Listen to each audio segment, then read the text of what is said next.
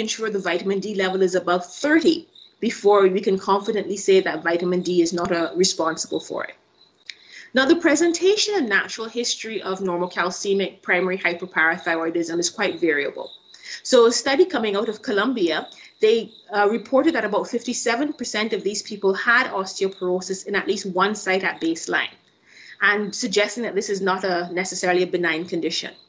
About 19% of these people developed hypercalcemia over a three year follow up, with people who were older and had higher baseline calcium excretion more likely to become hypercalcemic. And 41% of them developed evidence of progressive parathyroid disease. When you compare the biochemical profile of normocalcemic primary hyperparathyroidism and FHH to the other forms of para, uh, to the forms of hyperparathyroidism we discussed, you see in normocalcemic primary hyperpara, by definition, calcium is normal, PTH is increased. Phosphate is normal, and usually the urinary calcium excretion is less than 315 milligrams in 24 hours. And FHH, as I mentioned, is, is virtually identical to the presentation of primary hyperparathyroidism, with the exception maybe that the phosphate levels are usually uniformly normal, but most importantly, that the fractional excretion of calcium is typically less than 1%. So now what you guys are most interested in, to operate or not to operate. Now, it's important to note that not everyone who has primary hyperparathyroidism needs surgery. So this study, also coming out of Columbia, followed 116 patients with primary hyperparathyroidism, 49% of whom did not undergo surgery. And what they found that of those uh, 57 patients, 22 of them had disease progression, and there was disease progression in, uh, and 18 of those were actually asymptomatic at presentation. But 31 of those actually had stable disease. And of those 31, all of them were actually asymptomatic at baseline, though some of them met surgical criteria at baseline and some of them did not.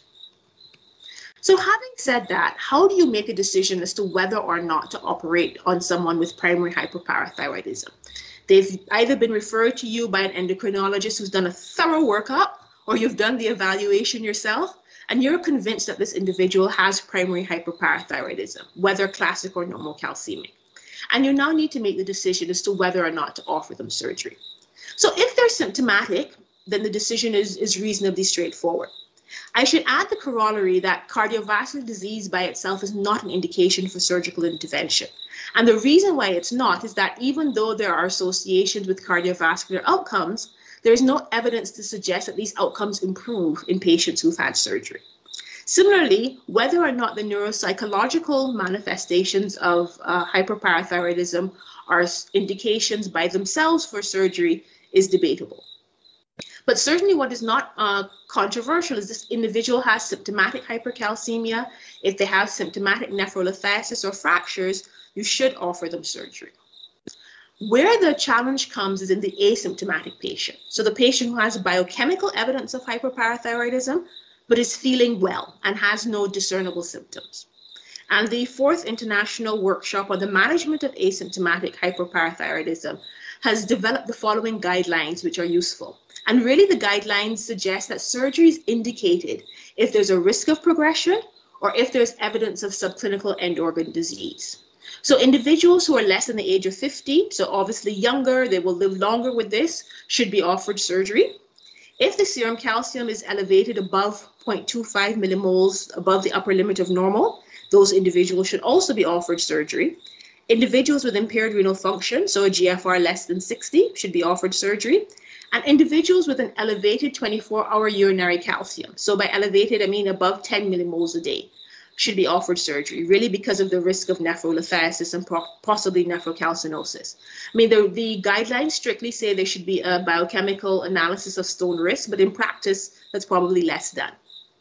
If an individual has nephrolithiasis or nephrocalcinosis on imaging, so these are people who are asymptomatic, but you should do a renal ultrasound, which is probably the, the, the least expensive uh, investigation. And if there is evidence of, of either of these conditions, they should be offered surgery. And additionally, all individuals should go I, undergo ideally a DEXA scan. So if there's uh, evidence of osteoporosis, so a T score of less than 2.5, or vertebral fracture on imaging, surgery should also be offered. Of course, there are other considerations in the decision whether or not to offer surgery. So first of all, there is patient preference. So surgery offers the only potential cure for primary hyperparathyroidism. So it's not unreasonable if a patient does not meet surgical criteria, but they are keen to, to have a, a definitive solution to offer them surgery. Of course, that also depends on the availability of surgical expertise. So if the expertise is not available, then you want to make, may want to reconsider whether or not surgery should be offered. And then I just want to highlight that surgery is not always feasible, even in patients who do have indications for surgery. And in those people, you want to make sure they avoid potential aggravating factors. So they should, for example, avoid dehydration, and they should make sure they have an adequate calcium intake of about 1,000 milligrams a day, but certainly not excessive. And individuals who have symptomatic or severe hypercalcemia or osteoporosis should be managed medically. And you should feel free to refer them to your friendly neighborhood endocrinologist for assistance with that. Thank you very much. Alicia, that was quite amazing. Thank you so much. I think the lecture was really um, exactly what a surgeon needs to know, not not not anything more. So uh, let's go to the polls. And Mark, will you manage the polls, please? Yeah, sure. Thanks. Um, can we get the first poll up, please? Okay. So, Mark, why don't I share my screen on that one? Super. I'll hand over to you, Mark. Right. So we have a 45 year old woman with no past medical history of note, presents with a calcium of 2.65 millimoles per liter, um, slightly above normal, parathyroid hormone of 65, uh, just about normal, high normal, and uh, 25 hydroxy vitamin D of 32. Her sister had a similar biochemical profile, which persisted after parathyroidectomy. So here's the question Which of the following tests would be the most helpful in making a diagnosis? estimated glomerular infiltration rates, bone densitometry, 24-hour urine calcium with fractional excretion of calcium, and a neck ultrasound. You'll be able to vote, vote in the meeting chat. Um, if you haven't opened it, it probably opened up already. And we'll keep that open for a, I don't know, 5, 10, 15 seconds until everyone is um, happy that we have a good representative number.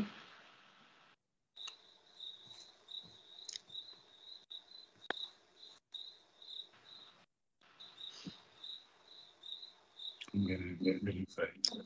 Eh? Just to get it going.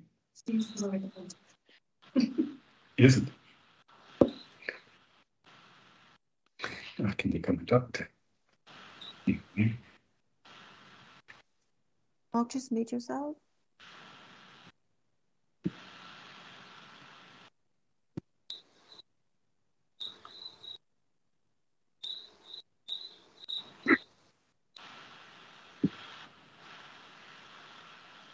So far, it looks like there's an overwhelming uh, thought that uh, 24 urine calcium would be the correct answer. So shall we go to the next? Shall we go to the next slide then? Super. Why don't All we? Right. Thank you.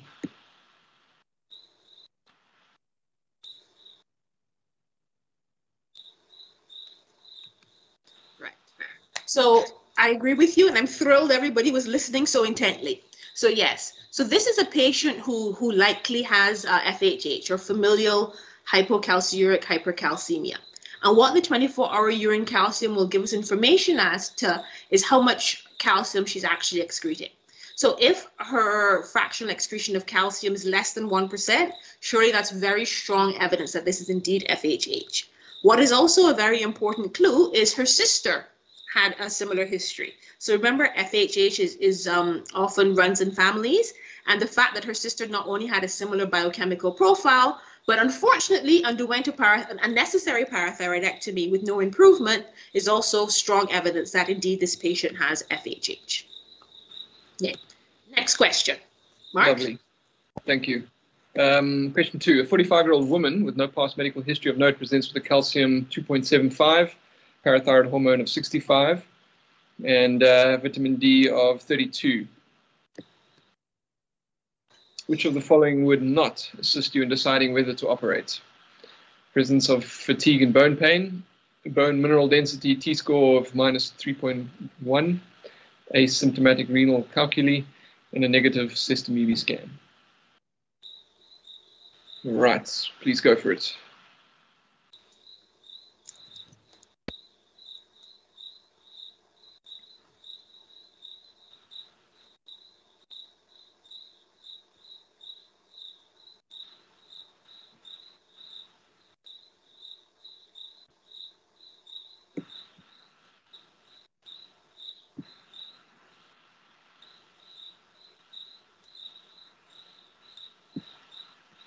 Costed my vote.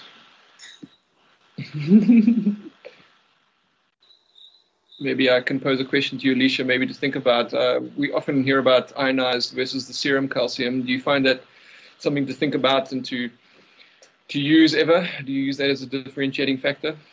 Um, so usually when you get calcium from the lab, they usually adjust for the albumin levels. So obviously, you know that that's where the crucial thing comes is in um, and I find that the when the results I get from the lab are usually well correlated between ionized and adjusted calcium. If something doesn't make sense to me, or if I have a doubt, so I had a patient recently who had had a parathyroidectomy and was now hypocalcemic. Her parameters didn't look right. Then sometimes I will get an ionized calcium, but oftentimes I'm, I'm happy to just rely on the adjusted calcium, seeing that you know they seem to be quite closely related when I get the results back from the lab. Super, thanks. All right, so I think we have 90% uh, of people saying a negative sestamibi scan would be the correct answer for that one. I'll be okay. interested to hear what your thoughts are. All right, so let's get back here. And I agree.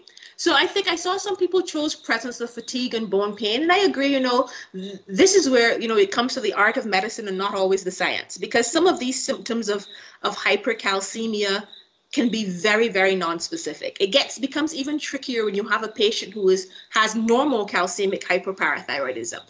But and i often will tell my patients sometimes if they have primary hyperparathyroidism and they have other indications for surgery or they're very symptomatic that i can't necessarily guarantee their symptoms will get better after surgery so, you know, it, it's it's very much, you know, a discussion with the patient and them understanding that yes, they have X symptoms, but they may not improve and whether they're willing to go ahead go ahead with surgery on that basis, because those symptoms of fatigue and bone pain can be quite non-specific.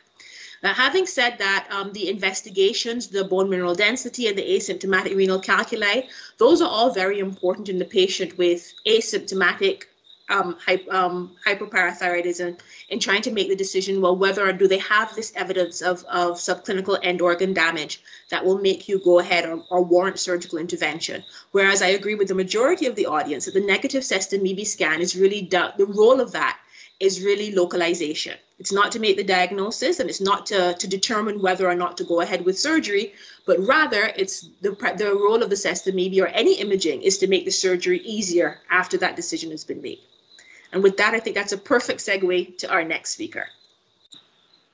Thank you kindly. I think we kind of answered Dr. Conradi's question with, with my question, so um, I'm happy to continue with Florette. Go for it. Um, can you see my screen? Yes, we can. Maybe just put it on um, slideshow view. Okay, cool. Thanks so much to the organizers for um, the opportunity to present at tonight's webinar. I'm going to be covering parathyroid imaging with um, particular focus on parathyroid scintigraphy as I'm a nuclear physician. So I'm going to start off with a bit of history. Um, the parathyroid glands were the last anatomical discovery um, and this was discovered in 1880 by a Swedish medical student by the, na- the name of Ivar Victor Sandström. And I'm sure he would have been very proud to see that this whole webinar is dedicated to what he discovered. Unfortunately, initially it didn't really attract much attention and was only discovered later that there's a relationship to significant bone disease. And 45 years after the first, um, after he discovered the parathyroid glands, the first parathyroidectomy was done in 1925 by Felix Mandl in Vienna. Now, Dr. Wade already um, spoke about this, but I just want to reiterate it. Primary hyperparathyroidism can be caused by neoplasia, and as she mentioned, about 80% of cases will be caused by solitary parathyroid adenomas. It can also be caused by carcinoma, a parathyroid carcinoma, which is quite rare. And then the remainder would be um, multi-gland disease, either in the form of double or multiple parathyroid adenomas, or then parathyroid hyperplasia. And in and patients with primary hyperparathyroidism, surgical removal is the only curative option. So bilateral neck exploration with intraoperative localization of the parathyroid glands is the um, mainstay of therapy. But as the um, most of these cases will be caused by solitary parathyroid adenoma, there's a move towards a minimal invasive surgical approach, and this is where preoperative localization becomes important. So, what can we use? We have several techniques available, and that just comes to show that none of these are really ideal. With regards to invasive techniques, such as parathyroid arteriography and selective venous sampling, um, are reliable, but these are um, time consuming, they are, they are technically difficult, and they come with um, complications such as stroke, hematoma, contrast induced nephropathy, to name a few. Um, non-invasive techniques can be divided into morphological and scintigraphic um, imaging modalities, and once again, the, these are numerous. From a morphological point of view, one can do ultrasound, CT, 4D CT, and MRI with excellent image re resolution and contrast, but variable accuracy. And some of these imaging modalities cannot differentiate functional and parathyroid tissue from other tissue. Um, with regards to what we can do in nuclear medicine, um, scintigraphy is the most widely used single preoperative localization imaging method, and I'll, I'll speak more about that soon. Uh, there's a lot of work being done in the field of PET-CT with carbon 11 methionine and F18 fluorocholine with promising results. But as most of you guys I'm surely are aware is that PET-CT is quite an expensive investigation, and we unfortunately in South Africa don't have these traces readily available. So where does this leave us? There's been numerous um, uh, research, or a lot of research, research being done comparing different imaging modalities to try and find what works best. And I think, like Dr. Wade has um, told you already, um, parathyroid scintigraphy has quite a good sensitivity and positive predictive value, but it's been shown that if you use it in conjunction with ultrasound and there's concordant results, that it increases the sensitivity quite significantly. So um, this was actually published quite recently in the um, Journal of um, Clinical Nuclear Medicine, um, and it shows that, or their suggested option is that as first-line imaging, one should use a dual tracer protocol together with neck ultrasound. And the advantage of adding a neck ultrasound is that you can, at the same time, look at your thyroid gland to see if there's any underlying pathology, as this occurs in up to 50% of patients with primary hyperparathyroidism. So for the rest of the talk, I'm going to focus on parathyroid scintigraphy. The initial protocol that was used in the early 1980s used thallium-201. Um, this is a cationic potassium analog, and it's taken up by active sodium potassium ATPase pump, and it takes up in parathyroid and thyroid tissue. But unfortunately, it has less than ideal physical characteristics when it comes to gamma camera imaging, and it also results in an increased radiation burden to the patient.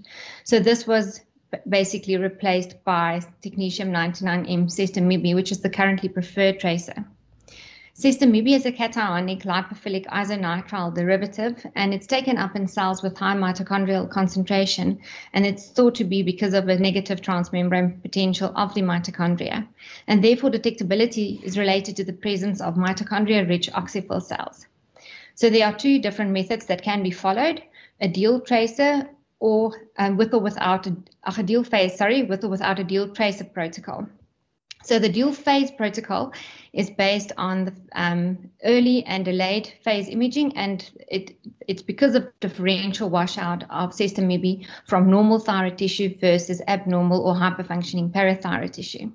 And then the dual tracer protocol is where you would add a, a, second isotope, either iodine 123 or technetium 99 M per which is taken up purely by your thyroid gland. You'll do a subtraction, and then whatever is left is technically then abnormal or hyperfunctioning parathyroid tissue.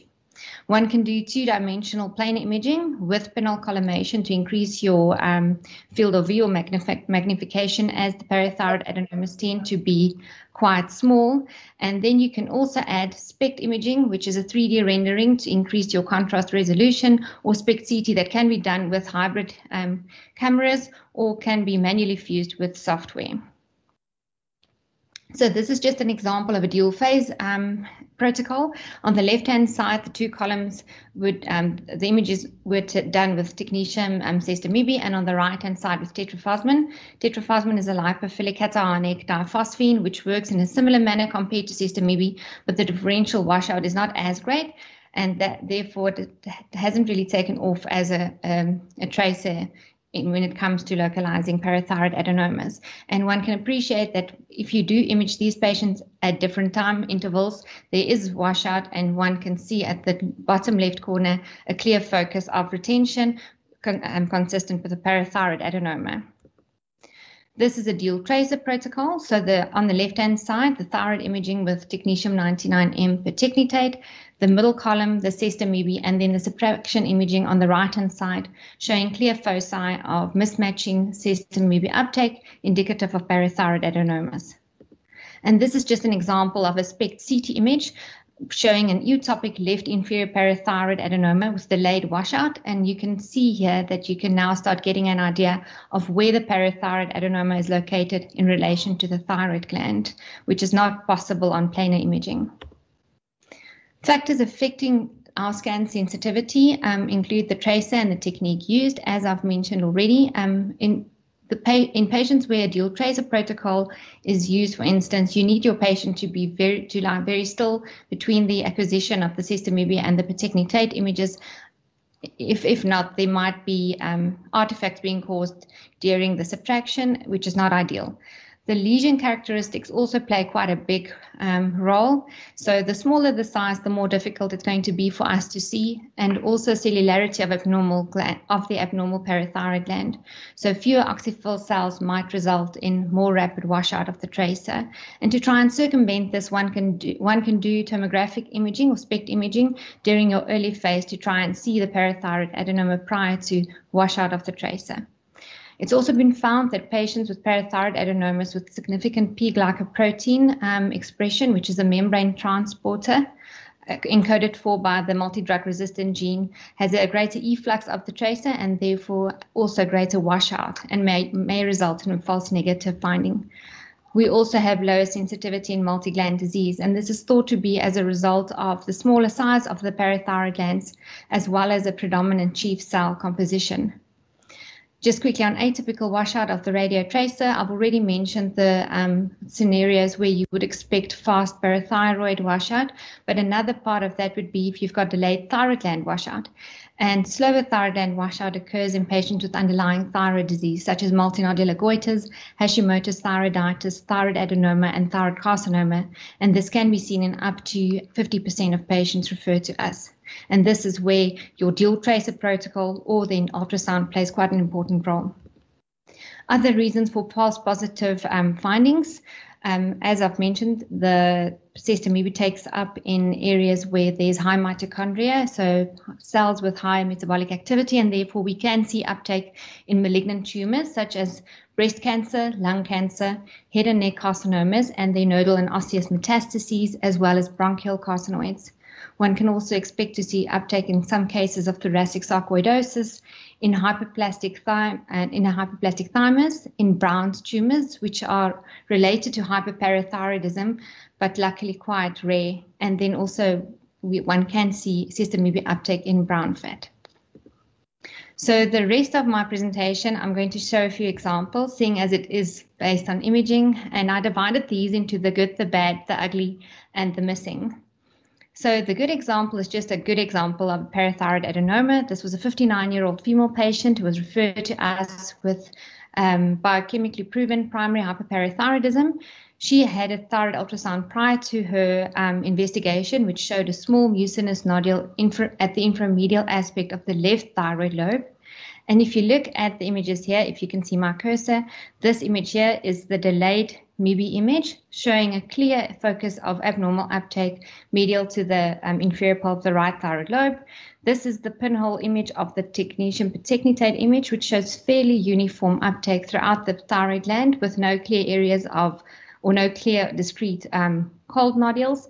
And then this image here on the right hand side shows a clear focus of mismatching system uptake consistent with a parathyroid adenoma.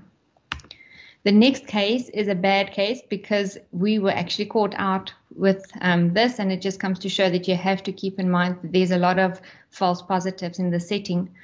It's a 62 year old female patient who was referred with a history of arrhythmia, dyslipidemia, and hypertension, once again biochemically proven hyperpar- primary hyperparathyroidism, and was sent to a different practice initially for a dual phase system, sestamibi um, parathyroid scintigraphy, which reported a large left inferior hyperfunctioning parathyroid adenoma.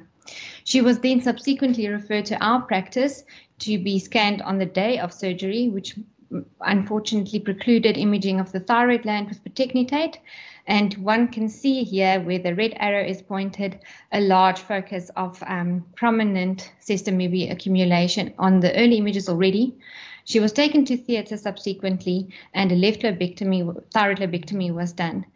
This um, the, the, the nodule that's marked with the surgical material was thought to be the parathyroid adenoma, but then lo and behold came back as a follicular variant of a papillary thyroid carcinoma, and she had persistent and primary hyperparathyroidism. So we repeated her parathyroid scintigraphy in early June of 2021. So now it becomes more evident that there's a focus of mismatching sestamibi uptake inferior to the left thyroid bed which in retrospect was actually there on the initial images, but I think because of the big focus of uptake, we didn't really make much of it. So she was taken back to theatre for completion thyroidectomy. The left inferior parathyroid gland showed that there was a parathyroid adenoma indeed, but what was not clearly seen on scintigraphy was that the right superior parathyroid gland also had an adenoma. And I think this just comes to show that it in smaller um, lesions, we might miss it. And then the third case is the ugly. And I'm sure if if there's any one of you guys who thought that we do unclear medicine based on this case, I would agree with you. It's a 76 year old male patient who was referred to us with end stage renal failure, a markedly elevated parathyroid hormone level, and marginally elevated um, corrected calcium level. So based on the previous examples, I'm sure you guys can appreciate that there's not a clear parathyroid adenoma. But on the earlier images, the panel images here, if you use your imagination, you would would you would or you might see that there, oh, sorry, that there's four dots that might represent parathyroid hyperplasia, and this just comes to show that it's more difficult to diagnose this. And then the last case, um, the missing or ectopic. This is a 53 year old female patient with a history of chronic kidney disease on hemodialysis. She had a history of previous parathyroidectomy in 2012, where they removed the left superior and inferior, as well as the right superior parathyroid glands, which came back and um, as hyperplastic glands, and then was referred to us in 2019 for um, imaging as she had recurrent hyperparathyroidism. And in the inferior pole of the right lobe, it does appear that there's a focus of um, more prominent uptake. She was taken back to theatre and this came back as parathyroid hyperplasia again. She was referred to our practice in um, earlier this year with a parathyroid, um, again, an elevated PTH and corrected calcium.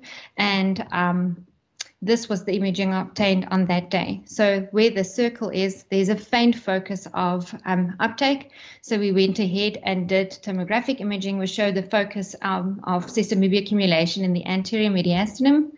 She then had a CT, which showed a soft tissue nodule in the anterosuperior mediastinum, which correlated to what we saw on our study, and this was proven to be an ectopic parathyroid adenoma. So, in conclusion, um, preoperative localization becomes important in cases where one wants to do minimally invasive or want to, where you want to follow minimally invasive approach.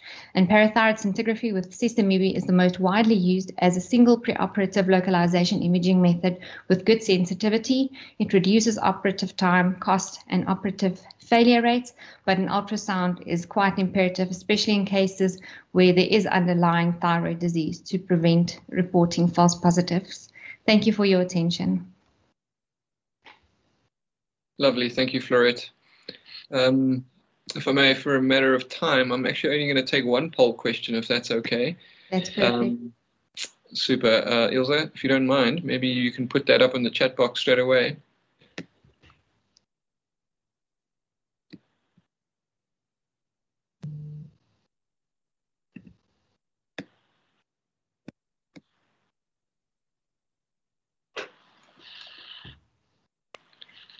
Oh, here we go. All right, super. So, what advantages does SPECT offer in addition to planar imaging?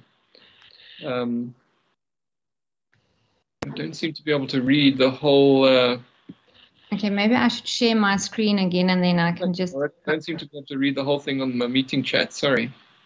No problem. I'm just going to show it again here.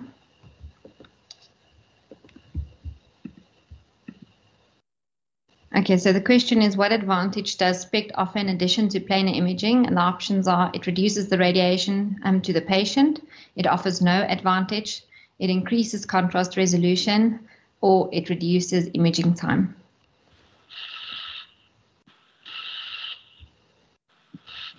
Super, thank you. Maybe while we wait, if I may ask a question just regarding why um, Sestamibi is not so accurate in multi-gland disease and parathyroid adenomas. Do you, do you, you, know, you talked about the factors affecting the scan sensitivity, but what's your theory on the multi-gland disease? Has it got to do with the activity of the mitochondria or just the small size? Um, mm. It's a combination of both. So, well, that's what we think is that it is because of the smaller size, it makes it more difficult to detect it. And the other thing is that these um, the hyperplastics um, glands have a chief cell composition and not oxyphil, and because of that, there's reduced mitochondria and less uptake. Super, lovely. Thanks. So it looks like overwhelming 80% of people believe it just increases contrast resolution. Perfect. I don't know if, it's, if it's too easy or whether people listen, but that's the right answer. Surgeons, after all. thank you, thank you, Florette. I really appreciate your uh, your time and preparation. Um, and I think on that note, um, let's get down to the uh, the business of surgery. Um, Johanna, did you want to comment on anything else, or can I can I recommend uh, that Ellen starts straight away? Mark, maybe um, we can just quickly ask Prof. Uh, Shaha. Prof, you want one or two comments why um, while Dr. Keynes is busy getting his um, his presentation after this um, pre-surgical um, lectures that we had? I think both the presentations were superb. Uh, the first presentation was wonderful. I think she. It looks like Alicia has passion for parathyroid, you know, and you need an endocrinologist like that before you put a knife on the patient's neck. I think the message should be don't operate on the patient just looking at one of the scans and saying, I want to operate on the patient. There are a lot of false positive, false negative, and you need somebody like her to tell this is this patient will be benefited by surgery. And that comes from experience and talking. You need to develop a multidisciplinary team, what I call a parathyroid armamentarium. And if you have that, your success rate will be very high. Overall, the success rate of parathyroid surgery is 95%. It is not the success in medicine that is important. It's a failure in medicine that is more important. Those 5% of the patients where we fail, they haunt you for the rest of your life because you don't know what to do and you try to spend, send them to uh, NIH or some other institution. So if you have endocrinologists like that who will define the indications for surgery, very helpful. And I think Florette did a great job of uh, defining the localization that is available in your country. And during the, the case discussion we discussed, we give more credence to 4D CT scan, but we'll talk about that later on. But both presentations were wonderful. I hope the audience takes advantage of those re-reviewing.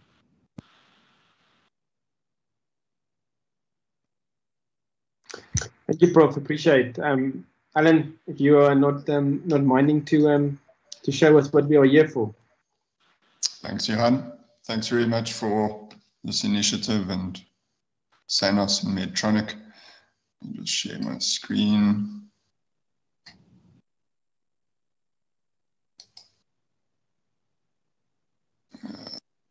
Okay.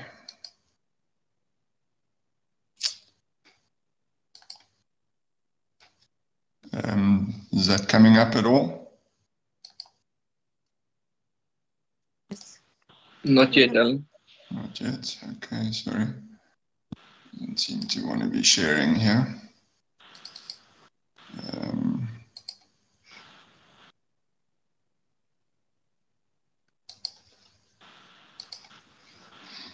uh, mm, okay.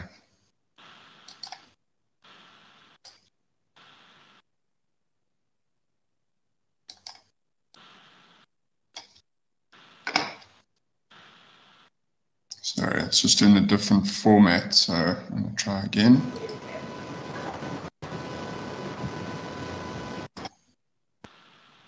Anything yet? I'm afraid not. Okay. Ilse, do you think maybe you can help? Um, I'm sure you have the video as well. Yeah, it was corrupted on the other Uh, format, so I'm just going to try again from the start.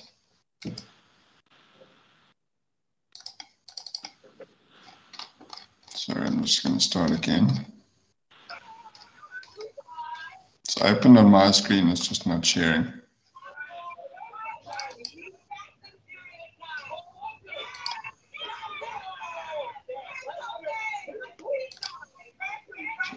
Minimize this.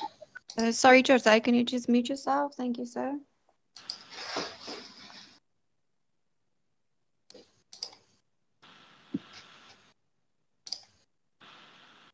Yeah, I'm not getting this. Is that sharing now? yes, it is. Okay. You- Are you seeing the video now? I see your um, your screen's full of files. No, I don't see a video yet. Maybe on the top right there somewhere. It looks like um, Yeah, I'm opening the video. And now? I'm afraid not. Okay, sorry. Uh, Alan, it will open up in a different window. So when you click on it, it will open up on a different window. You'll just need to go and look at which of your windows are open and share the, the window with the open uh, video. okay.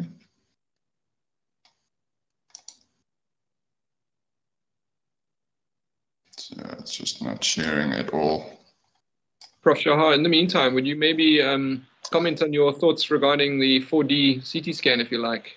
Yeah, you know, the 4D CT scan started in United States about, I would say, eight to 10 years back. The initial interest came from MD Anderson, and it has been picked up by everybody. There are a couple of things about 4D CT scan. Number one, it tells you the exact location of the enlarged parathyroid. And if your radiologists are uh, quite confident and they are they have the whole way to weigh the parathyroid gland, so they can tell the right upper parathyroid gland is 500 milligram, the right lower parathyroid gland is 300 milligram. So this uh, getting the detailed information will help you to decide preoperatively what exactly you want to do. If the four parathyroid glands, each one is 300 milligram, then you know that you are dealing with a multiglandular disease and you may be prepared to do either subtotal parathyroidectomy or parathyroidectomy with autotransplantation. Um, it also gives you the exact location Obviously, when you do the parathyroid scan, you also get the image of the thyroid, so you know if there is any abnormality in the thyroid. But this is one more test compared to ultrasound or uh, uh, a sestamibi scan. Um, it has become very popular. Uh, the luckily the insurance companies approve it, and I think it has become the first go-to investigation for hyperparathyroidism in majority of the parathyroid centers in USA. Mark, are you seeing anything yet? Um, I'm seeing your um, your list of files, but not actually the, oh, the video yet. So all I'm getting up here on my screen is my video and nothing else. Um, uh, sorry, can I assist? Can I share for you? Are you comfortable with that? Yeah, it's just not opening up my actual video.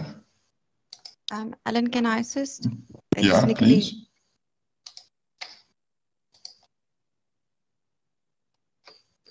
Rochelle, maybe another question to you. Sure. Um, looking for while you're waiting for the video. So some some tips for the junior surgeons around the table in terms of the approach. Um, obviously, we're going to talk about minimally invasive parathyroid surgery as well. But I mean, some tips from your side. It's, it's a vague question, but you you've got a lot of experience. So the first principle of okay, you want me to wait? We'll come later on. Go ahead, Alan. Thank you. Well done. Uh, let's see now. Right, can you see that now? Yes. Yes. Okay, great. Finally, sorry about that.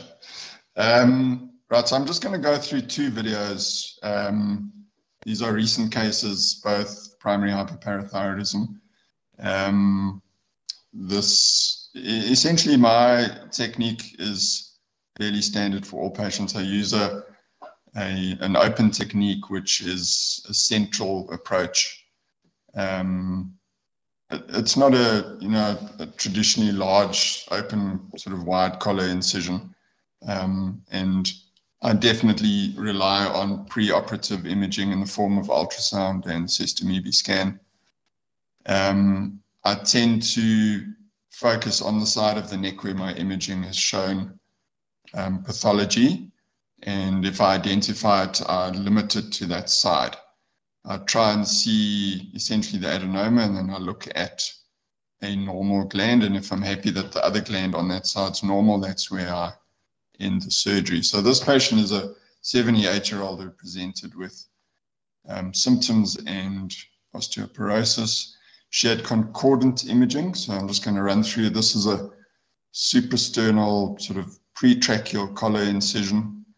Um, if you're going for a more directed approach, you can go more lateral in this. So this patient is essentially supine with um, a little bit of a shoulder roll, but um, she's essentially straight. And that's a, an incision placed usually in a skin crease. But if not, if they don't have an appropriate skin crease at that level, then usually something parallel to a skin crease, and those tend to heal really well and without much scarring. Um, so we were using two cameras just to orientate you. One was mounted um, just next to the table, and the other one there was a, a videographer guy who was sort of standing quite high up above. So we tried to do most of the filming just um, sort of over my shoulder, and we did move it during the op. Um, it's not the easiest surgery to film just due to the size. So these are essentially subplatysmal flaps and in an avascular plane, staying away from the anterior jugular veins. Um, I think the degree of how far you raise your skin flaps is personal preference. There are some papers now, but very, very limited skin flap elevation. Um, and it's been defined before going right up to the sort of thyroid cartilage. I try and limit my skin flaps um, and just stay above the veins in an avascular plane, as I mentioned. Sorry for my head popping in and out of the video. Um, and so, so we missed a bit of something. There was a, a, step edited out there. So essentially, the, the flaps are elevated and then the, the strap muscles are open in the midline raphe. And um, you then go in between the strap muscle and the thyroid gland, which is a fairly avascular plane. There are some small blood vessels that might cross over between the strap muscles and the thyroid gland. Um, and what does help, I don't do it routinely, but you can certainly take down the middle thyroid vein just to mobilize the thyroid gland a bit better. Um, so I've now got a, a, peanut retractor on the thyroid gland, and my assistant has a retractor underneath the strap muscle. Um, I use a lot of bipolar diathermy because you can use a, a one-handed technique where you can sort of um, burn and pinch. And I'm holding the thyroid myself with the peanut gland. And we're now, camera is essentially orientated at the head of the table looking down. So this patient had an enlarged left lower parathyroid gland, which I'm just exposing there. It was quite far down. Um, sometimes we see parathyroids in this territory essentially described as thyrothymic that may extend all the way down to the thymic remnant. I don't think this was a true thyrothymic gland, but certainly was a lower position. Um, and this was concordant on imaging. So both the ultrasound and the sestamibi said it was left lower. I do find not uncommonly where, that where the imaging mentions a lower gland, it can well be the upper gland that has extended downward into what your radiologist or nuclear physician will see as a lower gland on their imaging. But it's quite common for the upper glands to enlarge downward, and that's can be a gravitational thing with a large gland. It's well defined. Um, and sometimes if the gland is mid-pole, it's quite difficult to ascertain whether it's upper or lower. And I think that's where it's important to um, identify your recurrent laryngeal nerve and see the relation of the position to the gland. So your inferior gland is usually going to be ventral or anterior to the recurrent laryngeal, and your superior gland is usually posterior or dorsal to the recurrent laryngeal nerve. So what I'm doing here is really just defining where the pedicle is to this enlarged parathyroid. Um, and the lower aspect of it is essentially going just behind, down below the sternum into the sternal notch. But I'm really just trying to identify all the blood vessels. The other important thing I think to mention is it's you shouldn't really try and grasp the gland directly so I'm just holding the sort of capsular tissues around the parathyroid so as not to handle it directly. Because um, if you do, you can open up the capsule of the gland and it bleeds quite excessively. And you also don't really want to spill cells from that parathyroid adenoma into the surrounding tissue. So it's really just a matter of gentle mobilization, um, finding the pedicle, I don't routinely identify the recurrent laryngeal nerve, but I use a nerve monitor. I have it available. Um, it's in my theater. So what I usually do, and I think there's a picture just now, is I just map out the position of where that recurrent laryngeal nerve is running. And as I said, in cases where you're not sure if it's an upper or lower parathyroid, it really does help to identify where that recurrent laryngeal is running. And that's really just to document which gland you've removed, um, just in case there's any further surgery down the line. So that's the main vascular pedicle. Um, most parathyroid glands are vascularized off branches of the inferior thyroid artery. And I'm usually quite happy just to burn that. Some people use Liga clips. Um, I certainly don't feel there's a need for any other type of energy device during this kind of operation. Um, and that's the gland almost out. The final bits of tissue around it.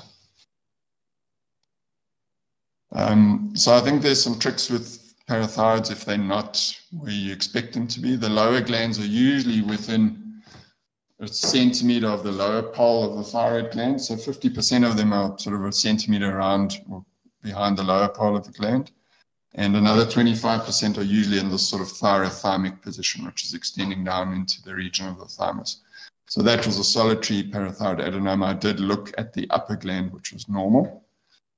And this patient's bloods, I usually then do a PTH level on the night and her PTH level had come back down to normal within a few hours of surgery, and her calcium then followed. And they'll usually go home first thing the next morning. Um, we don't have intraoperative PTH, so um, hence why I sort of look at two glands, which is the diseased one, and then I try and look at one other, which is just really to exclude the possibility of hyperplasia. Um, I put a single suture into the uh, straps and then close platysma and then close skin. And we put a small dressing over that and the patient is then taken out to recovery.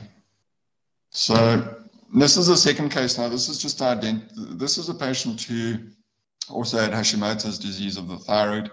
She had discordant imaging. So what I'm showing there is the, um, let's check which gland it was. So that's the sort of left mid-pole parathyroid, and that's what was identified on ultrasound. The Sestamibi identified uptake in the position of the right lower parathyroid. So this is the gland on the left, which um, to me looked enlarged, and you can see there's some cystic little changes and nodularity within it. It shows a typical gliding sign, which is described with parathyroids. They sit within the capsule and they have a fatty surrounding, and it shows you the typical gliding motion. So this gland, um, when I ident identified the nerve, and I'll just show you, there'll be some mapping out now of the nerve with a nerve monitor, was the I think the left lower parathyroid. So there I'm just mapping out where the nerve is running. Um, so that gland I removed and was sitting at just over a centimeter. Um, and that was the sonar positive gland. I've now gone across to the right side of the neck, and again, the camera is at the head of the bed, um, going showing downwards. And I'm now looking at what the nuclear scan was showing. So I think even if I identified a gland which I felt was enlarged, if I had discordant imaging, I usually would look on the other side of the neck um, just to make sure that I didn't miss a second gland or multi-gland disease. And here you can see I'm just mobilizing the thyroid away with the peanut, going down to the carotid sheath. And let's just try to speed that along. So there you can see the carotid artery. Um, I'm holding the thyroid, again, pulling it medially, and you can start to see quite a large parathyroid gland sitting right down medial to the carotid artery. And this was a significantly enlarged gland. Um, the nuclear scan said it was a lower and it was most definitely an upper gland that had enlarged downwards, um, lateral to the recurrent laryngeal nerve, and was extending all the way down almost to the lower pole of the thyroid gland. So you can see quite easily why they describe these as lower glands when quite often they are upper.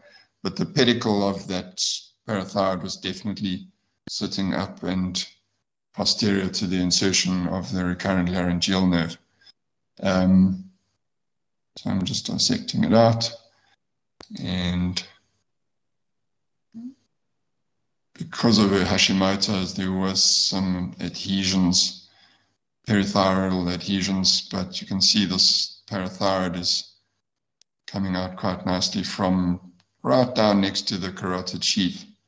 And I think this is one of the areas where um, parathyroid glands are missed in the deep sort of recess medial to the carotid or all the way down um, towards the tracheoesophageal groove.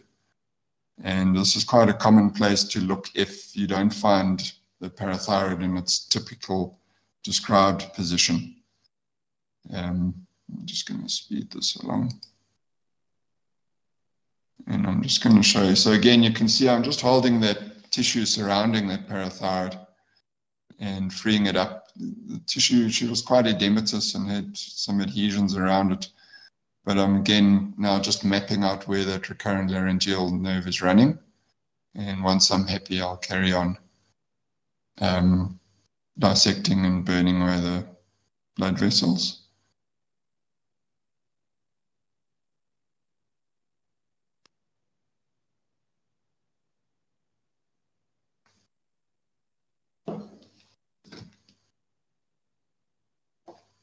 So this was quite a, a large parathyroid. And so what I took out in this patient was the left lower and the right upper. And I did identify one of the other parathyroid glands, which was normal. Um, so I was happy that she didn't have hyperplasia. And what she did have was this gland was identified as an adenoma. And despite the left-sided gland looking macroscopically enlarged and its weight was actually above normal, but the pathologist um, basically uh, assessed that gland as being a normal parathyroid. But the fact that it was enlarged on ultrasound and macroscopically, I wasn't happy to leave it leave it intact. But this gland being the right upper was essentially the site of the pathology. There it is, almost out. So a nice big gland, just about one and a half centimeters in size. And again, I don't routinely use drains in these patients. Um, and we, um, I usually just leave this dressing on for three or four days and then we remove it. And I find it heals very well. And those are the videos.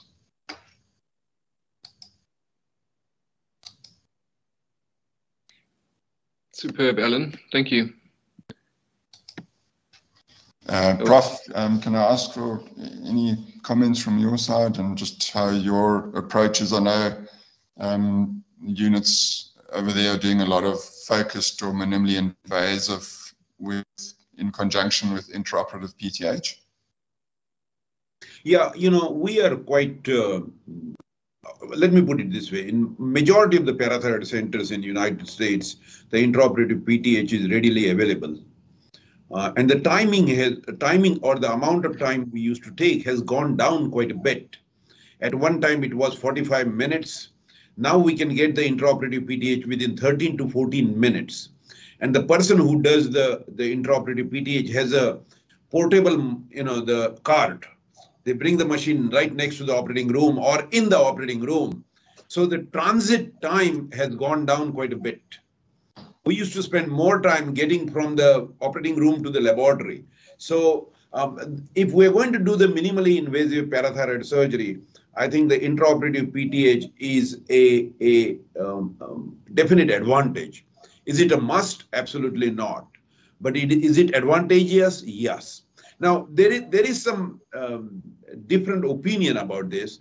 If your BB scan or a 4D CT scan shows a big adenoma, at the time of surgery you saw a big adenoma, the success is 95%. So why punish 100% of the people for benefit of 5%? So that is another thought that don't do intraoperative PTH, do it in the recovery room or do it next day. Those are the patients who may have to come back but that number is generally very small. And if you do a good localization study, good history, you know this is probably not a multiglandular disease. But the general philosophy in the United States is if you're going to go for the focus exploration or minimally invasive surgery, you should have the availability of intraoperative PTH. So we, we don't have it available here, but again, I usually rely essentially on we, we've done a couple of minimally invasive, and it's usually more in our frail patients, and we've done a couple under local anesthesia. Yeah. But uh, certainly, my normal approach is is a, a, a pretracheal small collar incision above the notch, yeah. and um, I like to see one normal gland, and it's usually on the side of the disease. and every now and then, I think last week I had a true double adenoma. So every now and then you're going to see and yeah. get caught out. But fortunately, the ultrasound had picked up two glands. Um, but my usual approach is just to try and stay on one side of the neck and, and leave it at that. Agreed. I think that was our practice before the intraoperative PTH. We'll go for the one big gland while you are getting a frozen section, which was a common investigation that time. Uh, then, then look for another gland. If that looks enlarged, then go for the other side. You know, quite often in the olden days, you know, when we took long time to get the PT, uh, the frozen section, now we call them and they are ready to do it right away. If you take a long time, and then the surgeon is not going to stay idle in the operating room. He's going to look on the other side. Takes a few more minutes to make sure that in the heart of your heart, you know there is nothing abnormal on the other side. But again, I just want to bring up the one issue about exposure. I think the exposure is very important in parathyroid, any surgery. Forget about parathyroid, any thyroid, uh, uh neurosurgery, everything. Exposure is a key. However, if you're going to make a small incision, you got to make sure you don't fracture the parathyroid. And I think Alan will agree with me that you are going to do the dissection away from the parathyroid, not on the parathyroid. You don't want to break the capsule. You don't want to break the parathyroid and have the fragments left behind, which will lead to para- parathyromatosis, which is a difficult condition to handle. When you see a patient with parathyromatosis, send them to Alan Keynes, you know. Thanks. Um, Mark, I don't have any poll questions, so I'm not sure if we want to go straight on to the no case studies. In fact, uh, I have two questions from from the audience. Um, I'm going to go with George Gomes's question first, with regards to the role of intraoperative frozen section. Uh, Prof. Shaha mentioned it. Um, it certainly was an option um, uh, more in the past. Uh, I don't know if anyone still uses it. My, my, my question, in addition to that, would be the possibility of maybe gamma probes if you're going to be doing a sestamibi maybe on the day of surgery. Um, Prof, if you want to uh, comment on those two things. Yeah, the gamma probe was very popular once upon a time in few institutions in the United States, not many. The, uh, the Tampa uh, Parathyroid Center used to do that very routinely. I'm not sure whether they are that hot now or not because now they do bilateral exploration. But that was a common uh, investigation that time to use the gamma probe. I wrote a paper against it uh, at one time because it did not help. When you see a gamma, you know, you do the sestamibi scan and you see a big adenoma, you don't need a gamma probe to find it. So we we didn't use it very much, but I must say, if you have done a gamma probe, it is a functional frozen section of the parathyroid. Mm. If the uptake in that parathyroid is more than 20%, you know this is a parathyroid gland. Why do we still send for frozen section? It gives you a happiness, you know. You keep pathologists busy. You know, why should, as a surgeon, I should be most busy? Let them work also with us. It gives you a good, a good feeling that you you did find a parathyroid adenoma. Sometimes they will say it is hypercellular parathyroid. You say, okay, let's wait for the final report. But the critical aspect to me in the parathyroid is what is the weight of the parathyroid? And I'm, I'm going go back to the basic principle of parathyroid surgery. The normal weight is 35 to 50 milligram. If your parathyroid gland is 150, it is more likely to be hypercellular. If it is 500 or 1000, you know it is a parathyroid adenoma. And as Alan said, you look for one more that is normal, call it quit. Perfectly okay. In spite of that, you will have 2 to 3% failure either next day of surgery or six months or eight months after surgery. And those are the cases you do extensive investigation, re-evaluate whether the surgery is indicated. Ask Alicia, do you really want me to reoperate on this patient or can we manage medically? Super. If I may, um, Chris asked the question how to choose between three and a half gland versus total parathyroidectomies with auto transplantation in multi-gland disease, uh, or maybe he means uh, hyperplastic parathyroids. How do you decide between totals with reimplantation or uh, three and a half? You want me to take that? Go for it, Prof. The floor okay, is yours. So, you know, the at one time when we operated on renal failure patients, it was common practice to do total parathyroidectomy and re implantation or auto transplantation. I think majority of the people are now going away from that, trying to leave half the parathyroid or one full small parathyroid behind for two reasons. Number one, if that remaining gland, uh, when you when you take out all the four parathyroid glands, you have to have a uh, availability of cryopreservation because you got to keep some parathyroid in reserve in case your auto-transplanted parathyroid does not work. And the second reason is in renal failure patients, when you auto-transplant, especially in the forearm, they can come back with the re-hyperparathyroidism from that auto-transplanted tissue.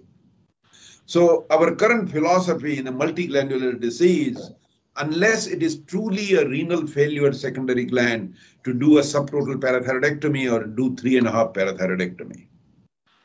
Super. Excellent. Um, I think uh, if everyone's okay, shall we progress directly to the um, to the case studies? I think um, Ellen, do you have them, or uh, I don't know if. Um, so Alicia's got two, and I've got two. Mark, if I can make a suggestion. Yep. I can make a suggestion. Let's start with Alan's cases. He's got some nice cases um, suggested by Alicia, and then we can go back to Alicia's cases and take it from there. Super. Maybe while he's opening, Prof. Um, once again, I mean, the whole focus of this uh, uh, webinar is to literally uh, include everyone. I mean, from junior to experience. So, what is your? I'm going to ask the question again. I mean, this is also appropriate for thyroid surgery for the un, untrained eye, what is your tips for the for the for the surgeon looking for a parathyroid? There has been a lot written about this in the United States, some with pride, some with humbleness, and some with despair, you know. And, and whether you do a craniotomy, you do abdominal perineal or abdominal uh, aneurysm, I think experience does count. There is absolutely no doubt. The problem is even in United States, you know, we always talk the thyroid surgery should be done in an experienced center with a surgeon more experienced than 30, 50. Nobody knows the real number. Nobody knows the real number of the parathyroid. But what counts is, do you have the all the available, all the means available? Do you have Alicia standing behind you? Do you know the indication for surgery? Do you have a good localization? And then, you know, whether you do 10 cases a year or five cases a year, it, I don't think it matters. It also ma- nobody puts that in the equation. How many years you are in practice? You know, we just talk about the number of cases done every year. But again, you have to realize that there is a lot of interest now in the in the referral to a specialized center or the surgeon volume and the surgeon experience. I think that is there is no doubt that is most important. But that does not mean that you do 20. It doesn't mean that you are going to fail in the next one. Thanks, Mark, can you see can you see the slide? No, I'm afraid not. There we go again. Let me just try and share that. Just on that note, with regards to trying to identify parathyroids in the in the in the neck. I mean, when I was a reg, I remember, uh, you know, getting taught that lymph nodes are typically pink. Um, parathyroids are caramel color, yeah. and um, and uh, uh, what was the other thing? The um, fat is yellow. The what? Sorry, the flat fat is yellow. Thank you, thank you. so it was really just a color a color thing, and, and as Prof Shaha said, the more you see them, the more you start to see the caramel distinguish between the between the difference. So um, yeah, but it takes a bit of time. There is a better color definition for that tongue yeah. of a hummingbird, you know. tongue of a hummingbird. I've never seen hummingbird. I've never seen hummingbird's tongue, but I know what it looks like because I know what parathyroid looks like. I'll go uh, Google Martin, that. Is that slide come it up? Is, it has, Ellen. Go for it. Okay. Um, so I'm going to whip through this case. So this is a 56-year-old gentleman who uh, had a distal pancreatectomy for a pancreatic neuroendocrine tumor. Um, gave a history of fatigue and generalized aches and pains. And during his admission for his pancreatic surgery, was identified to have raised serum calcium and PTH. Not not dramatic, um, and PTH just essentially one above normal. He had a which identified a left lower lesion, which was concordant with ultrasound. Um, he was also diagnosed with a pituitary prolactinoma, and the diagnosis was then made of MEN1. Um, so after recovery from his pancreatic surgery, he came back in and he had parathyroid exploration with bearing in mind that he was now diagnosed as an MEN1. Um, two of his glands were obviously enlarged, and that was the left inferior that was picked up on imaging, but the right upper was also. And there was mild enlargement of the left upper, but his, his right lower gland was essentially macroscopically normal. So I left that intact and removed the other three, um, which I wouldn't have done if he didn't have a diagnosis of MEN1. Um, so that was his pathology at nodular hyperplasia, which is more aggressive than hyperplasia um, per se. So those three glands, and you can see the weights of them, one of them was up to a gram, um, were all diseased, uh, implying that the, the last gland was as well. His bloods the following day were back to normal. Um, interestingly, then his daughter presented to me a few months later. She'd also been diagnosed with MEN1, but had had surgery elsewhere where a right lower gland had been removed and pathologically labeled as a parathyroid adenoma. And she had also had a thyroid um, nodule removed. So everybody seeing these slides? No. Actually, no, Ellen. Sorry, we, we got your um, your opening slides, but um... uh, okay, sorry. I'm advancing on them, but they obviously not coming up for you. Um, yeah. Sorry. I'm just going to try and share again. Now, any difference?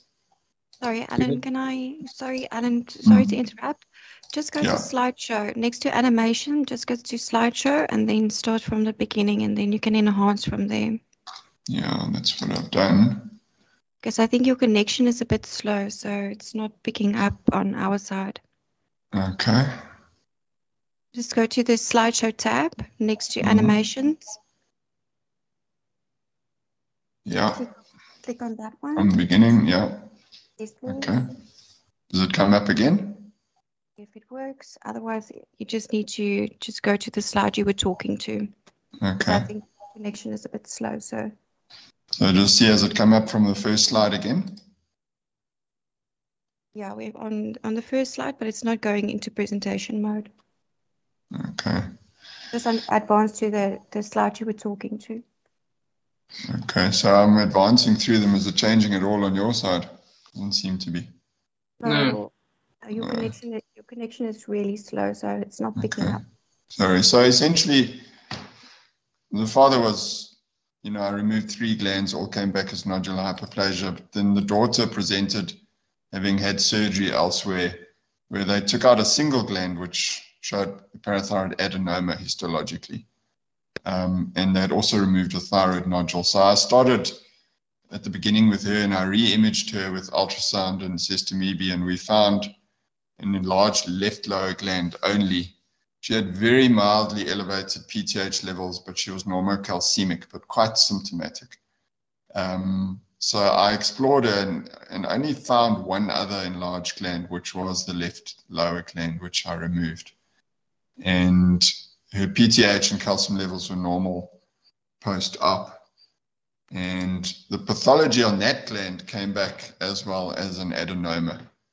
So I think this, I'm just trying to highlight, I think the difficulty that it can sometimes for pathologists to differentiate hyperplasia versus adenoma. So we've got two MEN patients from the same family, one where he had nodular hyperplasia of all his glands and the other who essentially had two adenomas.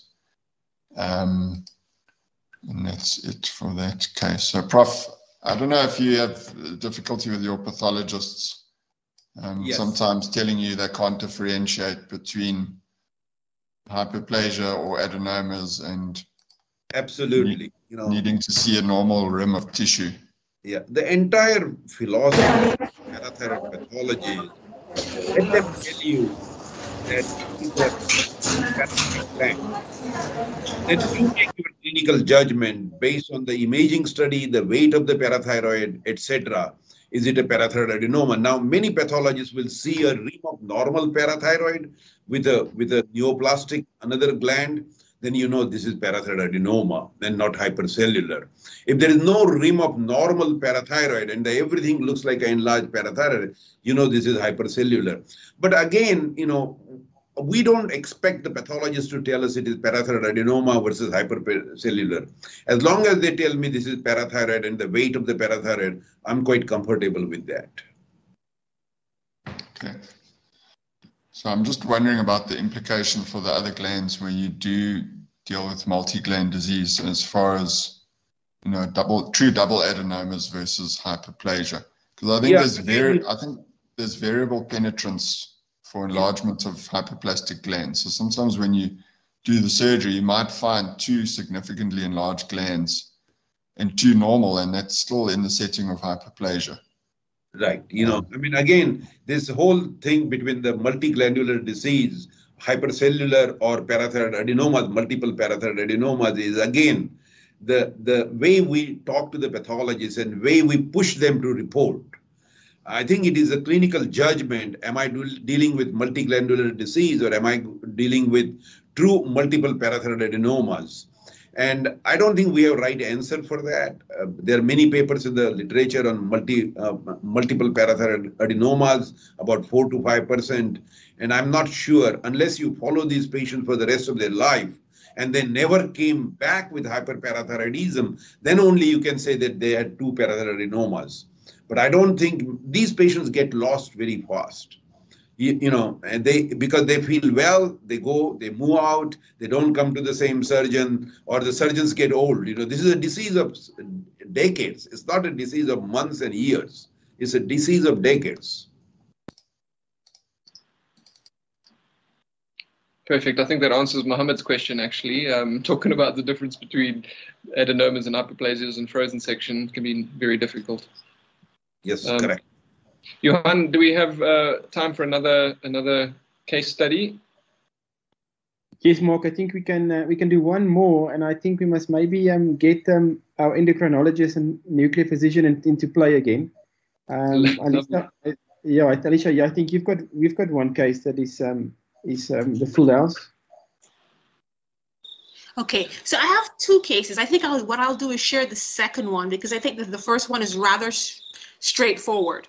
Well, if we have time, we can actually do them pretty quickly, actually. So if you don't mind, let me share the first one. Okay, so shall I read this one? So this was a 58 year old woman. She came to me early this year, actually, with a six year history of paresthesias. So she had had osteo, she had a, a DEXA scan in December of last year, which revealed osteoporosis. And an evaluation for that. She had her PTH done, it was elevated, and she was sent to me. So she had a history of several years of dull, non-specific ache in her arms and legs, constipation, and muscle weakness. So that was a more recent onset. Her blood pressure was normal. Her exam was otherwise unremarkable. I should actually do this for you guys. Apologies. So her calcium was 2.93, PTH was 85. She had a 25 hydroxy vitamin D of 29, and her 24 hour urinary calcium was 6.36. Her um, GP had actually called me before she sent her to me, so I was able to tell her everything I needed done before she came to see me. Her fractional excretion of calcium was 4.3%, and she had a T score of minus 3.3 in her lumbar, in her lumbar vertebrae. She had an abdominal ultrasound done, which showed a small, simple cyst, but no stones. An ultrasound of her neck did not visualize any parathyroid glands. So, another quiz. So, what would you do on this patient now? So, would you do exploratory neck surgery? Would you do a sestamibi scan? Would you observe her and repeat her um, parathyroid ultrasound in six months? Or would you offer her medical therapy for osteoporosis?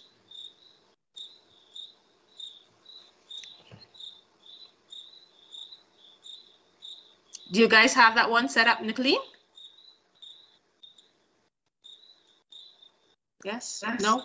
Yeah. Sorry, I, I I struggled to unmute myself. Just give me a second. I'm gonna okay. Uh, I'm it now. All right.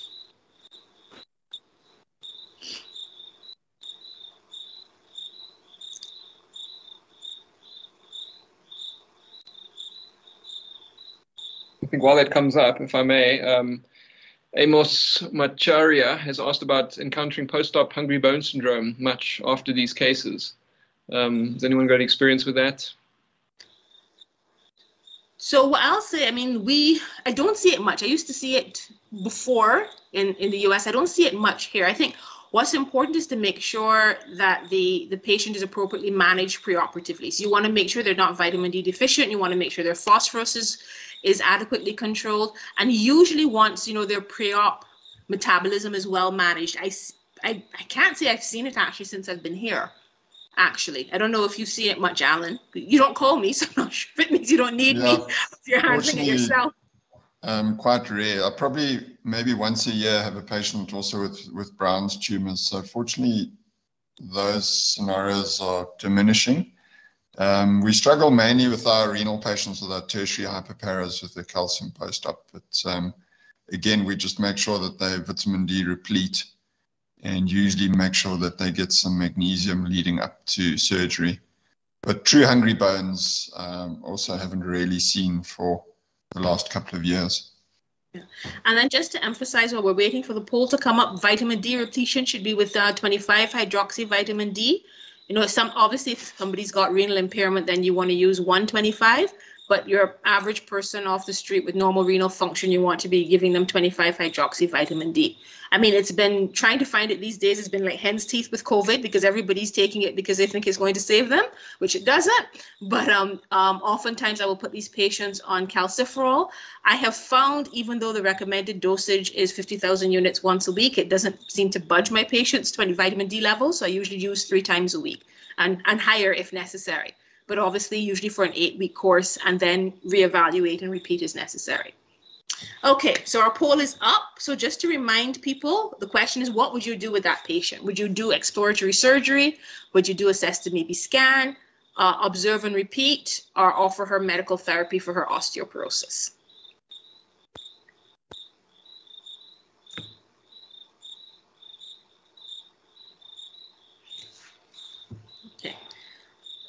In the interest of time, shall I go on? Please do. All right. So it seems as if most people would off would do a sestamibi scan. And that is indeed what we did next. So obviously, this is a patient with fairly classic hyperparathyroidism who seems so even if one discounts her symptoms, she certainly has a calcium above 0.25 above the upper limit or normal. So surgery would be indicated. And then what we want to do is assess a sestamibi scan to help us localize the gland. So I don't know if you want to jump in here, Florette, see if you can distinguish anything from the images. Sure, I must admit it's not. Yeah, it's not great. From the right you know, that's a kind of, you know, attractive. That's how we feel every day. but it does seem like um, there's washout from or progressive washout as the study goes along, and I would it, it, I get the impression that there's a focus of uh, retention in the inferior pole of the right thyroid lobe. So I don't know if there's a possible parathyroid adenoma there. So you were that our nuclear medicine physician agreed with you, and he had the, the, benefit of I think probably slightly better images. So she did undergo a right inferior parathyroidectomy, and histology confirmed a parathyroid adenoma. So I've seen her postoperatively. She's eucalcemic, Interestingly, she actually reports improvement in her symptoms. So these paresthesias, which she's had for years, muscle weakness, she says they've got significantly better, though they're not completely resolved. Of course, it's difficult to know whether or not there is a psychosomatic component to it, but she feels much better. And then I haven't started her on any therapy for osteoporosis because we expect there to be significant improvement in bone density post parathyroidectomy. So she'll have a bone density scan one year post operatively. Should I jump to the second one?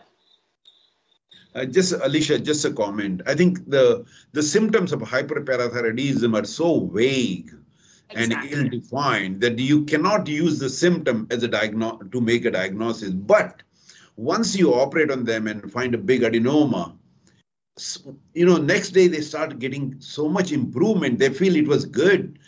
I'm glad I did, you know, the surgery. Some of the people have mental fogginess which changes. I don't know if it is truly mental fogginess or their better relation at the family. I have no idea, but they, they feel better next day. That is so true. I have seen so many patients with these very non-specific symptoms, and I always warn them beforehand that these may not get better simply because it's so hard to say definitively that this is from the hyperparathyroidism. But virtually all of them come back and say, I feel better afterwards. Of course, the challenge is the people who don't feel better afterwards, but you know, they go back to the Google. exactly, exactly. Um, shall I go on to the second case, Mark? I think so, please. Okay. So this is another patient who I saw many, many years ago. So she was a 34 year old female who came to me for evaluation of elevated parathyroid hormone. She had taken um, ergocalciferol, so vitamin D for vitamin D deficiency, and she had a history of multiple episodes of renal calculi. So two months before I saw her, she'd had an ultrasound, and that showed a seven millimeter hypoechoic nodule in the right midpole of the thyroid. Blood pressure was normal, and there was nothing else remarkable on her examination. So these were her initial lab tests when I saw her. So she'd had two calcium levels done, both of which were normal. Phosphorus was normal. She'd had one elevated parathyroid hormone in November of the previous year. And then just before I saw her, her parathyroid hormone was normal. On both occasions, she was vitamin D deficient. I mean, you can argue that under new guidelines, she was vitamin D sufficient in January, and her GFR was 65. Would you operate on this patient? So I think we've got another poll there.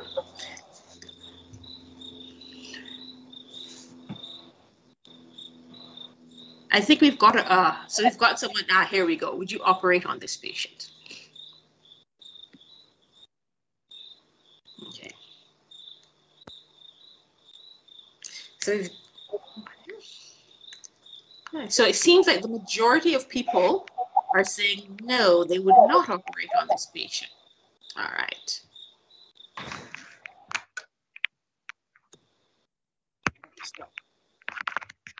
I didn't operate on this patient. I wanted a little bit more information. So what I did next was to give her some vitamin D. So when I saw her again in March, she had a calcium remained normal, phos normal. Her parathyroid hormone was still was now elevated again at 86.5. Her 25 hydroxy vitamin D was now over 30, and she had a GFR greater than 89, and her fractional excretion of sodium was just 1.6. She had a CT bone mineral density done, which showed low bone mineral density or osteopenia. And again, she had non obstructing renal calculi. What would you do next? So, would you continue vitamin D supplementation? Would you offer her a parathyroidectomy? Would you reevaluate her in six months? Or would you get her first degree family members and obtain calcium and parathyroid hormone results on them?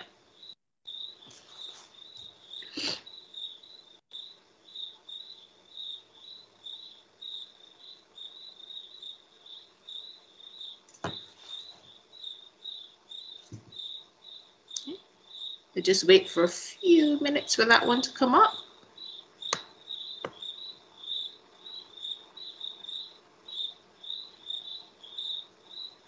Do you have that um, poll, Nicolene?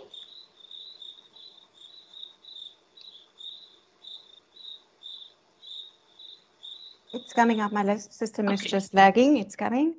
Okay, thank you.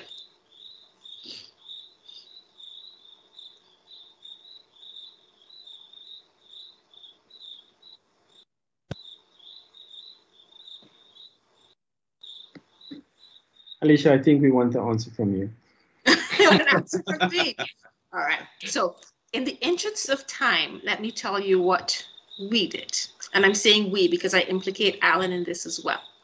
So, what we actually did next was to offer her parathyroidectomy. And the reason for that was that we felt that her, and to be quite honest, I can't quite explain that low parathyroid in January of 2015. Could have been a lab error, could just have been a natural fluctuation in parathyroid hormone.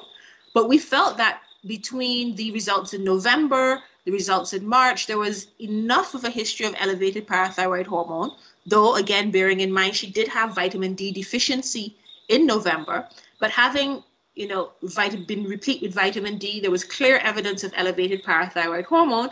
And perhaps even more importantly, she had symptomatic and asymptomatic kidney stones. So we felt on that basis it was reasonable to offer her a parathyroidectomy. So we did that, and on histopathology, she did indeed have a right, a right, a right uh, parathyroid adenoma. And I think what this case, uh, there's an echo what this case illustrates quite nicely and why it's quite important to, to bear in mind is you can have normocalcemic hyperparathyroidism with vitamin D deficiency. So vitamin D deficiency is very, very, very, very, very common. So you'll, you'll see much more vitamin D deficiency than you will see primary hyperparathyroidism. But it's important to remember that the two can coexist. And it's important to also make sure that in anybody, who, unless it's a clear cut case of hyperparathyroidism. So if someone has hypercalcemia, an elevated PTH, you're pretty safe in making the diagnosis of primary hyperparathyroidism. But if they're normocalcemic, you have got to make sure that vitamin D normalizes before you can say with, a, with any degree of confidence that this is indeed primary hyperparathyroidism. Thank you.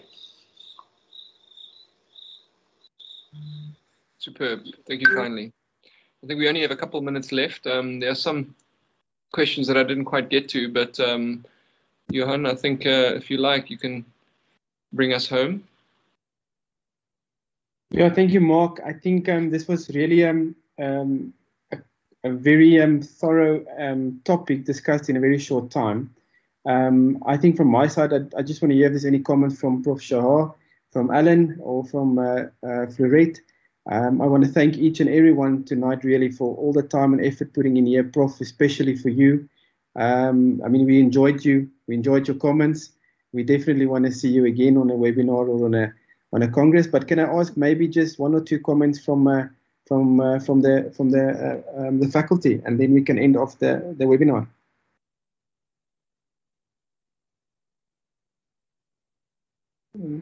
Prof, we can't hear you.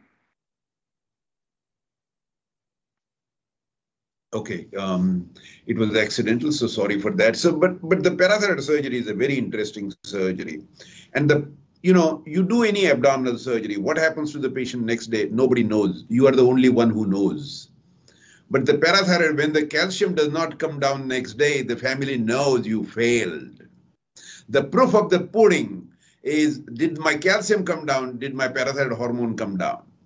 and it does not happen in 5% of the patients those are the patients where we who are very difficult to manage in long run and then you go back to your endocrinologist was there an indication to operate another thing is this is a disease not going to hurt the patient in few months few weeks or even year in a va hospital the average time is about 8 to 10 years before they come to surgery so you have got ample time. Don't be in a rush like thyroid cancer that they need it to be operated tomorrow.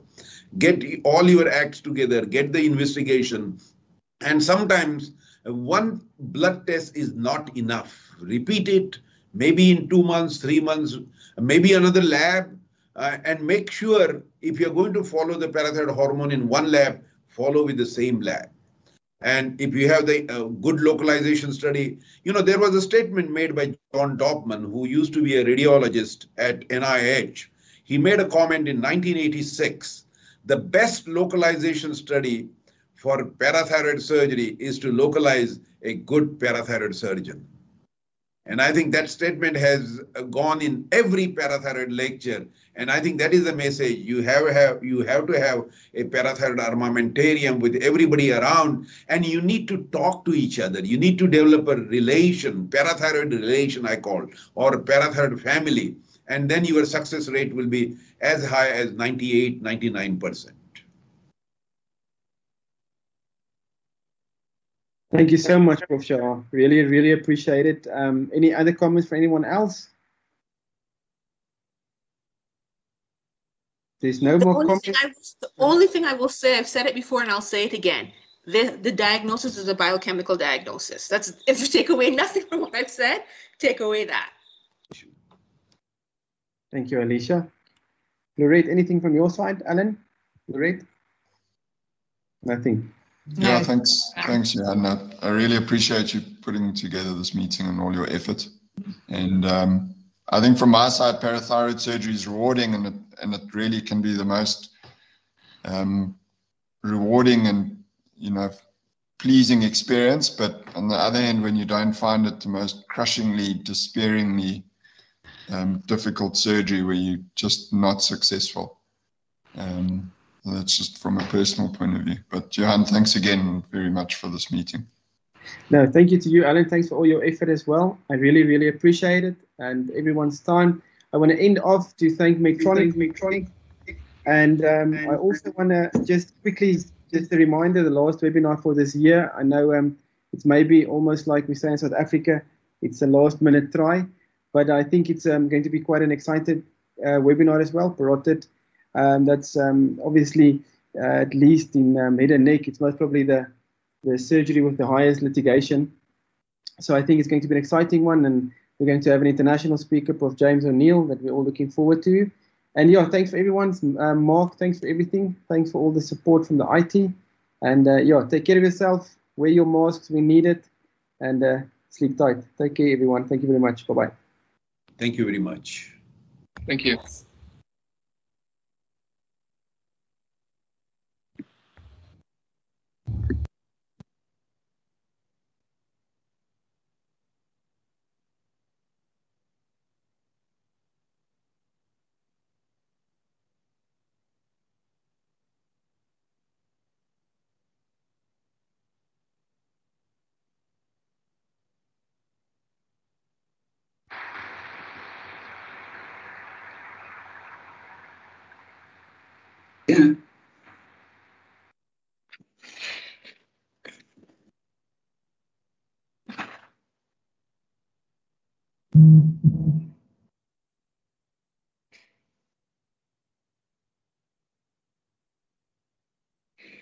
Let's just wait for everybody to go off the call.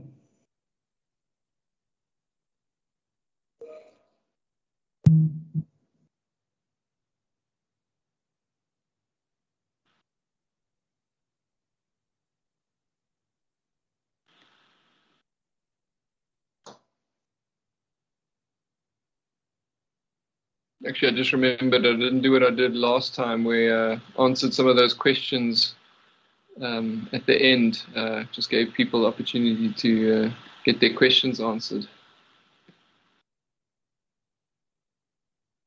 Never mind.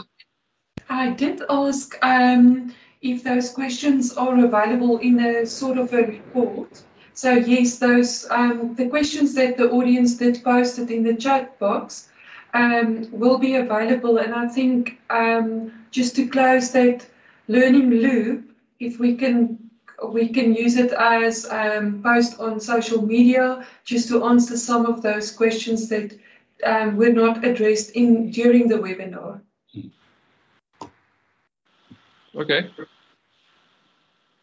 But Mark, I do think you answered all the questions quite good, and I was yeah, I thought you covered it. What, what did we miss? Do you think we missed a few questions? Um, I think maybe three. Well, maybe two of them were comments, actually. There was one question about methylene blue. Oh, yes. And, um, and then there was another question or comment from Etienne Myburgh about um, radio guided parathyroid- parathyroidectomy. Oh, yeah, I saw those two. Sorry, you were right. Yes, yes, yes. That's right. But I think you still managed to. Um, yeah, pretty much covered most of it, so I'm not, I'm not stressed. Yeah, well done. Well done. Uh, Mark, thank you so much. Really appreciate it. Ilza and um, all the IT support. Yeah, we appreciate it. And uh, yeah, um, Mark, it's two Marks here tonight now. So Mark and Mark. appreciate it, Mark and uh, Nicoline, Ilza. I'm going to say goodbye. Sleep tight, you guys, and thanks yeah, for everything. well done, everybody. Appreciate it. Thanks, guys. Thanks very much. Well done, everybody. Good one. Thank you very much. Eh? Bye-bye. Nicoline, thanks. Well done. Great work, Nicoline. You're welcome, Mark. Always a pleasure. speak tomorrow. I'm going to go to sleepies now. Right, off you go. I'll see you tomorrow. You can sleep in. I won't phone you at eight, all right? all right, I'll be here at eight. I'll give you till nine, all right? Thank you kindly. Cheers.